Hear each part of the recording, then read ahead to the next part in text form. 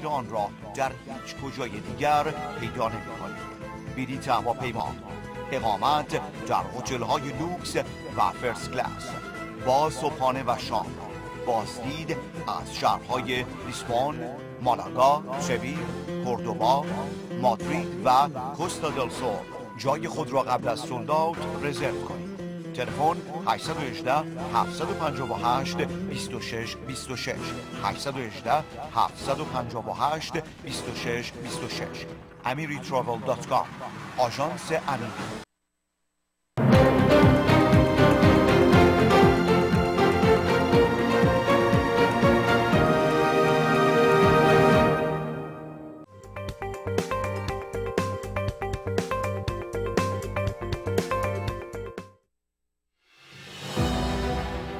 مصطفی دانش نویسنده کتاب رد پای من میراث جنگ سرد از جنگ ویتنام تا جنگ ایران و عراق افغانستان آنگولا جنگ های شمال آفریقا آمریکای لاتین و در دو جنگ آمریکا در عراق شاهد اتفاقات جهانی بوده. هفتاد بار سفر به بحرانی ترین منطقه جنگ سرد افغانستان داشته است. با مصطفی دانش به سراغ معمر القذافی، آیت الله خمینی و نلسون ماندلا بروید تا تجسمی از جنگ سرد داشته باشید. این کتاب صفحاتی است از تاریخ جنگ سرد تا کنون کتابی تابو شکن که هیچ مرزی را نمی شناسد. جهت تهیه کتاب رد پای من میراث جنگ سرد با شرکت کتاب تماس حاصل فرمایید. 310 477 74 77 کتاب.com سلام به بینندگان ارجمند. مصطفی دانش هستم و برنامه نگاهی دیگر را تقدیم می‌کنم. رژیم ولایت فقیه فاجعه دیگری را رقم زد. قتل دختر جوان 22 ساله به نام محسا امینی توسط واحد امر به معروف و نهی منکر گشت ارشاد روی داد. رژیم ولایت فقیه به رهبری شخص علی خامنه‌ای و رئیس جمهورش ابراهیم رئیسی با سیاست های حجاب اجباری خود و گردان های فاشیستی مانند گشت ارشاد در خیابان ها و شهرهای کوچک و بزرگ ایران به دنبال شکار جوانان و دختران رنج کشیده هستند. و با نهادینه کردن خشونت در تمامی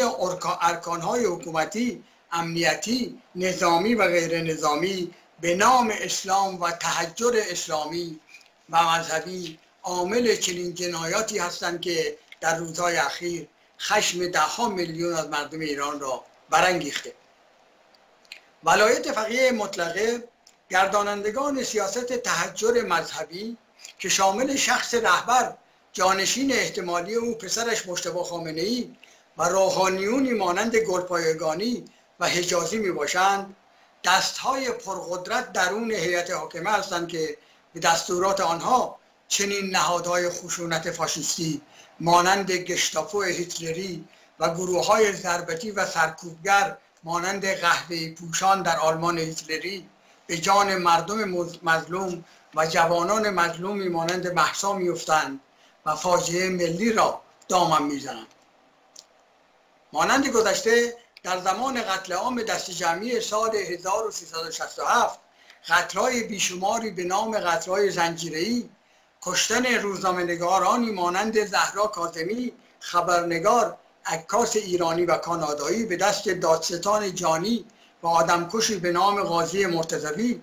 و قتل دهها زن و مردان جوان میهندوست در زندانهای مخوف جمهوری اسلامی و اکنون قتل محسا امینی حاکمان جمهوری اسلامی به ویژه شخص رهبر سکوت مطلق می کنند و این بار هم مانع هر گونه پیگیری چنین جنایاتی هولناک می شوند تاریخه این نوع جنایاتی که به نام اسلام محمدی از دیرباز در نظام جمهوری اسلامی رخ دادهاند خوشکانده نشوند و دستگاه های حامیان پرقدرت چنین جنایتی به نام مبارزه با بدهجابی و دستگاه های افرادی مانند امام جمعه های مشهد علم و خدا پدرزن رئیس جمهور و امام جمعه اصفهان که از اسید پاشی و روی زنان جوان در اصفهان حمایت کرد برچیده نشوند در و روی همان پاشنه خواهد چرخید. و مافیای اقتصادی که در بدنه حاکمیت جمهوری اسلامی جا خوش کرده و در واقع افسار رهبر جمهوری اسلامی را در دست داره به غارت ثروتهای ملی ایران ادامه میده و نفوذی که در داخل هیئت حاکمه داره جلوی هر گونه پیگیری جنایاتی مانند قتل محسا امینی را در آینده هم خواهد گرفت. امروز در رابطه با قتل محسا امینی که باعث نفرت و خشم ملتی شده است هنوز رهبر جمهوری اسلامی و حلقه واقعی حاکمیت در بیت رهبری سکوت مطلق می‌کنه و تلاش داره که در این فاجعه مسئولیت آن را از گردن خود برداشته و افراد نادانی که در گشت ارشاد مرتکب چنین جنایات هولناکی می‌شوند را مسئول بدونه. فراموش نکنیم که شخص رهبر مسئول چنین فاجعه است که ملتی را برای نظامش به حرکت درآورده.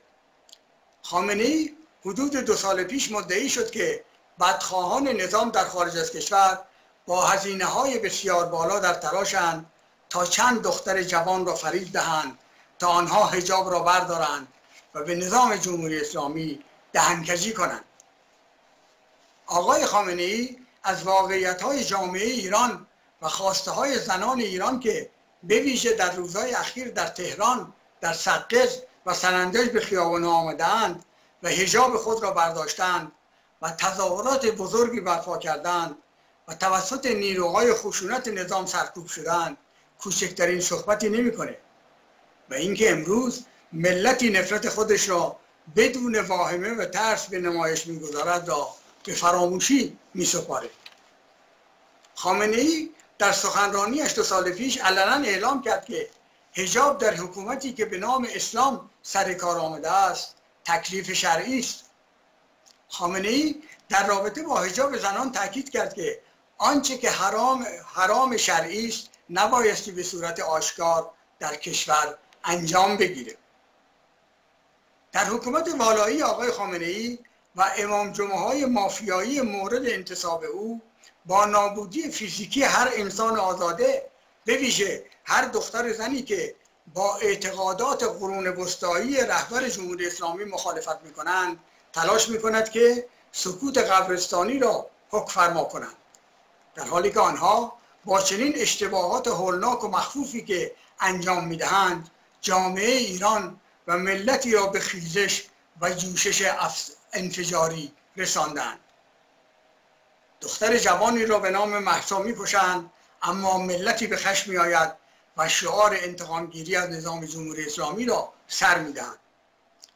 رژیم جمهوری اسلامی نوجوان بیگناهی را می‌کشد به بهانه اینکه پوشش اسلامی ندارد و غافل از این است که به گفته خود سیاستمداران جمهوری اسلامی ملتی از اسلام آنها رو گردان می شوند و پایه های نظام را به لرزه در می آورند آیا شک و تردیدی می تواند وجود داشته باشد که این ناشرارت ها توسط دشخیمان جمهوری اسلامی شکاف اجتماعی در جامعه ایران را توسعه داده و عصبانیت و خشم عظیمی در مقابله با نظام جمهوری اسلامی را افزایش میده.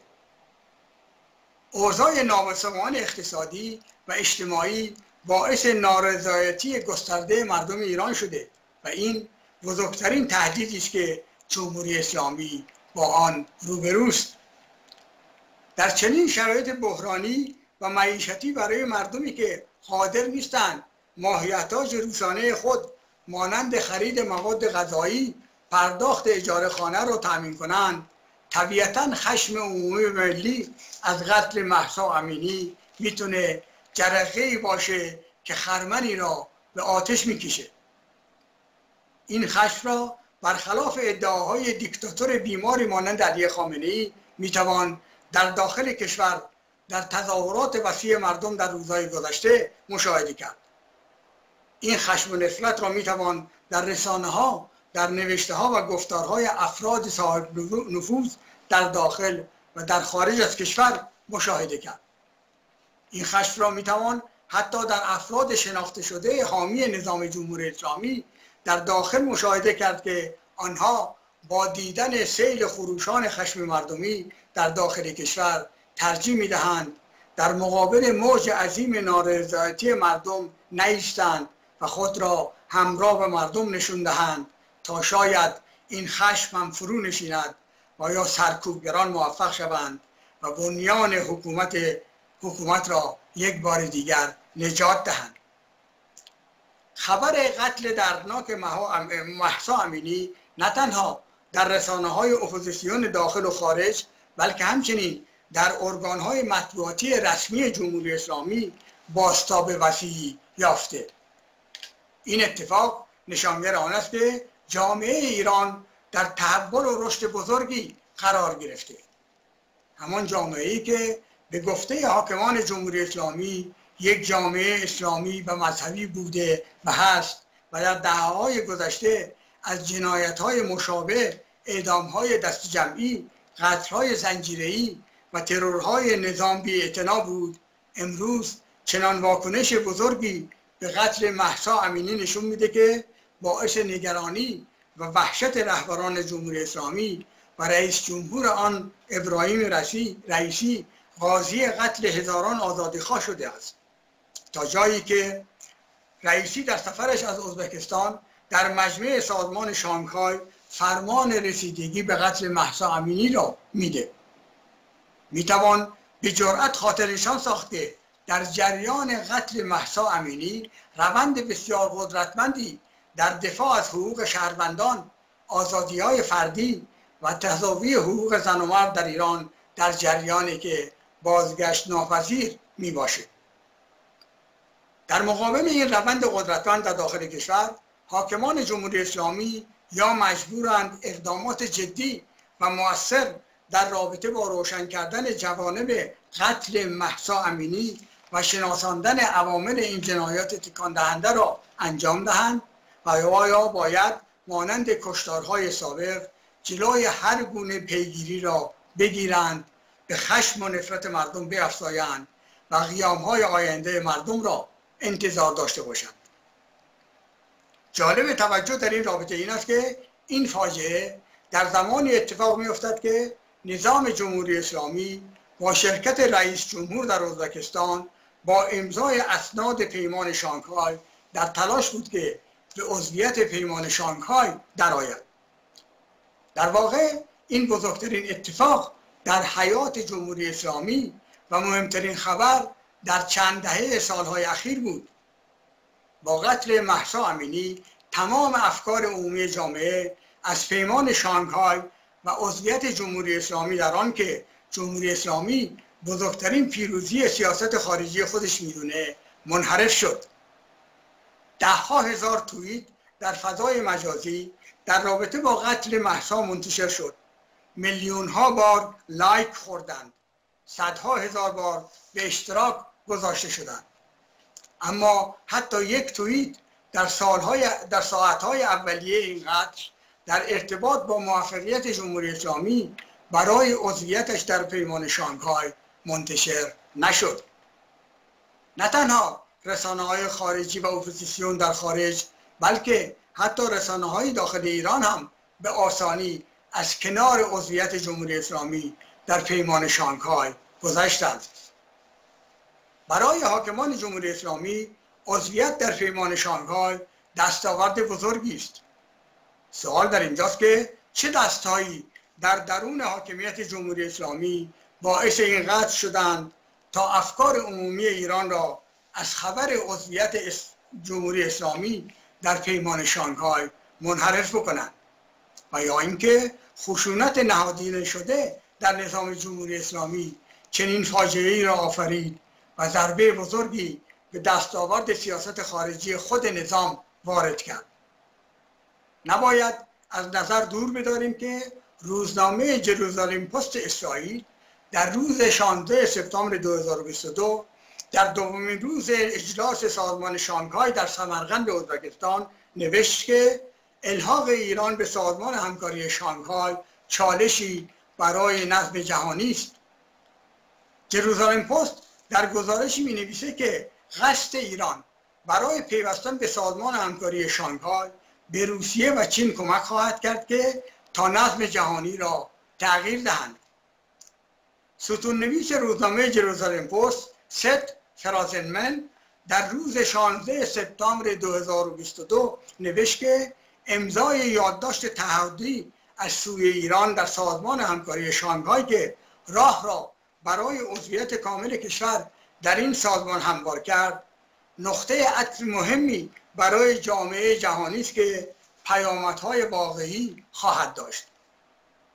به عقیده این ستون نویس روزنامه جروزالم پست این موضوع نشون می‌داد که اعضای این سازمان که در سالهای اخیر به طور فعال در حال گسترش بوده است بدون مشارکت کشورهای غربی قادر به تعامل مؤثر هستند.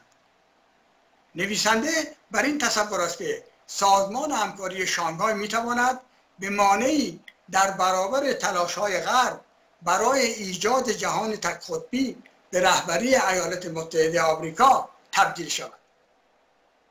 ستون نویس جروزالم پست معتقد است که الحاق ایران به سازمان شانگهای که به ریاست چین و روسیه می باشد چالش بزرگی برای نظم جهانی است که آمریکا در تلاش برای رهبری اونه. آن چیزی را که ستون نویس روزنامه جروزالم پست اسرائیل می نویسه همان اختاری است که آقای هنری کیسینجر سیاستمدار کهنکار ایالات متحده آمریکا از زمان ریچارد نیکسون می‌کنه. آقای کیسینجر اخیرا گفته است که هر قطبی که بتونه ایران را در کنار خود داشته باشه در صحنه جهانی برنده است. واقعیت این است که چین در رقابت با, با ایالات متحده آمریکا با تقویت سازمان همکاری شانگهای در صدد تقویت مواضع بین المللی خود می باشد در واقع با عضویت جمهوری اسلامی در پیمان شانگهای نفوذ این پیمان به سمت غرب در حال پیشرفته این موضوع باعث تقویت چین می باشه که می‌تونه خله قدرت خود را در آسیای میانه و غرب آسیا پر بکنه. در بحران شدید بین آمریکا و کشورهای ناتو از یک طرف و روسیه از طرف دیگر در جنگ اوکراین نشست جی جنپینگ رئیس جمهور چین با ولادیمیر پوتین رئیس جمهور روسیه یک اتفاق عادی نبود. بلکه برای دو کشور چین و روسیه اتفاق خارق‌العاده به شمار می‌رفت. در واقع همپیمانی راهبردی روسیه و چین در جنگ روسیه در اوکراین با مشکل روبرو نشده بلکه برعکس باعث تقویت این همکاری استراتژیک بین دو کشور چین و روسیه شده است. در حمایت از این دو کشور در پیمان شانگهای کشورهای بسیار با اهمیتی مانند هند و پاکستان شرکت دارند و کشورهایی مانند ترکیه، عربستان سعودی، امارات متحده عربی، مصر، آرژانتین و اندونزی خواهان عضویت می باشند. در جریان رزمایش نظامی روسیه در اوایل ماه سپتامبر 2022 در شرق روسیه در ولادیوستوک در کنار نیروهای چین، نیروهای هند و دهها کشور دیگر شرکت کردند. در گذشته چین و روسیه و جمهوری اسلامی چندین مانور مشترک در خلیج فارس دریای عمان و اقیانوس هند انجام دادند در آینده جمهوری اسلامی به عنوان نهمین عضو سازمان شانگهای در چنین مانورهایی شرکت خواهد کرد. پس از سقوط شوروی در سال 1991 رهبری جهانی آمریکا و تک قطبی تسلط کامل بر جهان داشت. سی سال بعد از آن هژمونی آمریکا در جهان به خطر افتاده و با عضویت ایران در این پیمان نفوذ چین به سوی غرب گسترش می‌یابد و به مرزهای خاورمیانه و اروپا نزدیکتر می شود در واقع پیمان شانگهای به رهبری چین و روسیه یک قدرت منطقه‌ای مانند جمهوری اسلامی را به عضویت میپذیره که اختلافات آن با آمریکا اسرائیل و کشورهای غرب بسیار شدید می باشند و حتی سناریوی برخوردهای نظامی را می توان تصور کرد. بنابراین چین و روسیه با عضویت جمهوری اسلامی دو هدف اساسی را دنبال می کنند یک تقویت مواضع خود در مقابله با آمریکا و ناتو و دوم تقویت مواضع جمهوری اسلامی در مقابله با غرب به شکستن تحریم های آمریکا بر علیه ایران می باشه چین با اتخاذ دیپلماسی بسیار قوی در آسیای میانه خله قدرت را پر می‌کنه به ویژه بعد از اینکه ناتو با شکست در افغانستان در سال گذشته افغانستان را رها کرد. و امروز چین و روسیه هستند که در آسیای میانه خود را خله را پر می‌کنند و امنیت کشورهای آسیای میانه را زیر چتر خود قرار می‌دهند. بنابراین نقش ایران در این منطقه برای چین و روسیه و عضویتش در پیمان شانگهای بسیار پر اهمیته. و به همین خاطر چین و روسیه به عنوان نهمین کشور عضویت ایران را انتخاب کردند و نه ترکیه، عربستان سعودی و کشورهای دیگری مانند مصر و آرژانتین را. با توجه به اختار روزنامه جروزالم پست اسرائیل اختارهای هنری کیسینجر و حتی دولت مردان امروز آمریکا مانند جک سالیوان مشاور امنیت ملی آمریکا دریا سالار جان کوربی سخنگوی امنیت ملی آمریکا در کاخ سفید و ژنرال لوید آستین وزیر دفاع آمریکا که عضویت جمهوری اسلامی در پیمان شانگها را برای نظم جهانی امروز تحت کنترل آمریکا خطرناک می‌دانند با کشتن محسا امینی فاجعه ای در سطح ملی به وجود آمد که یکی از دستاوردهای آن مخالفت مردم ایران و حتی مخالفت محافل بسیار قدرتمند در هیئت حاکمه ایران با عضویت ایران در پیمان شانگهای می باشد در فرصت باقی مانده از اتاق فرمان خواهش مندم که ویدیو آگهی کتاب ما یک بار دیگه نشون بدن. قبلا به شما به درود میگم تا برنامه آینده. مصطفی دانش نویسنده کتاب رد پای من میراث جنگ سرد از جنگ ویتنام تا جنگ ایران و عراق افغانستان، آنگولا، جنگ های شمال آفریقا، آمریکای لاتین و در دو جنگ آمریکا در عراق شاهد اتفاقات جهانی بوده. هفتاد بار سفر به بحرانی ترین منطقه جنگ سرد افغانستان داشته است.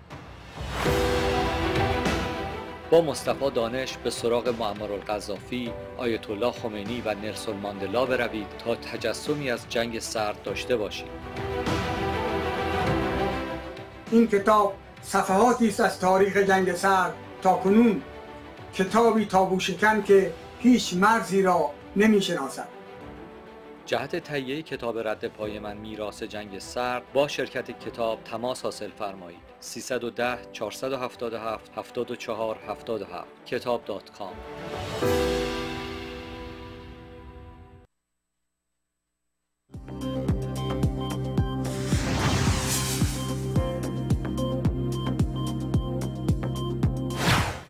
آیا در محل کارتان دچار آسیب شده اید و یا از صدمات ناشی از کار رنج می‌برید؟ پیام شایانی و network وکلا با بیش از 20 سال تجربه و دریافت بیش از 500 میلیون دلار خسارات ناشی از کار و صدمات کار به همراه بیش از 50 وکیل و کادر دفتری موفق در خدمت جامعه ایرانی است. رکورد 99 درصدی پیام شایانی در موفقیت به رسیدگی بیش از 20 هزار پرونده تضمین دریافت حق شما از کارفرماست. همین امروز با ما تماس بگیرید تا در کمترین زمان ممکن بیشترین خسارت را دریافت کنید. انتخاب ما راز موفقیت دریافت بالاترین خسارت در پرونده شماست. دفاتر در لس آنجلس، اورنج کانتی، سان دیگو، ساکرامنتو و سن هوزه. تلفن 24 ساعته دفتر مرکزی 818 777 77 77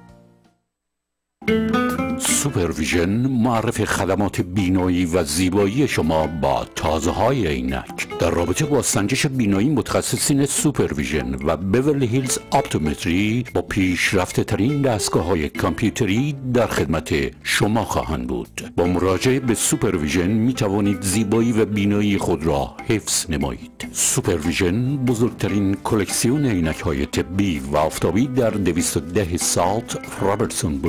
Boulevard بیورلی هیلز تلفن 310 623 48 48 با پارکینگ رایگان